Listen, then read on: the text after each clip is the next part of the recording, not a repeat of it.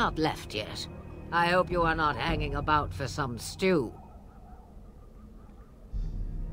Oh, I prefer to remain here.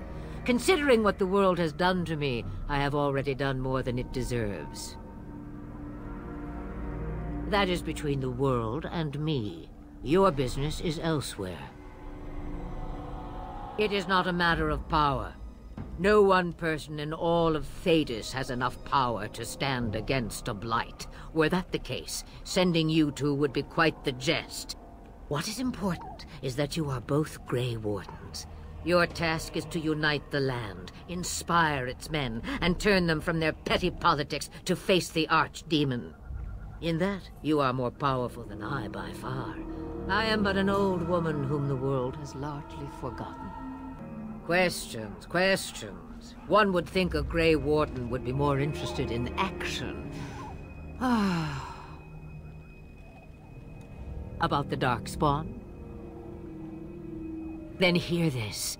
I laugh at a world full of stupid humans who ignore the Blight's evil and abandon their vigilance to chase mortal goals. Remember, it is up to you to destroy the Blight. Pray not for someone else to destroy it. It will always nip at your heels.